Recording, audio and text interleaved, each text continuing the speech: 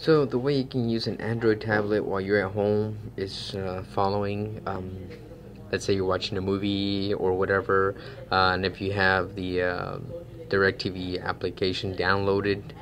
and also if you have the virtual uh, home app, uh, you can use these two applications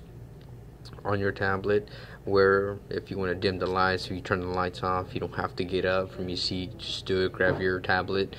and you can uh, definitely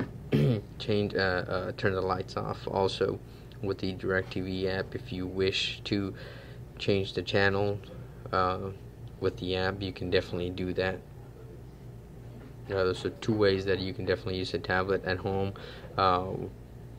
and uh, you know control everything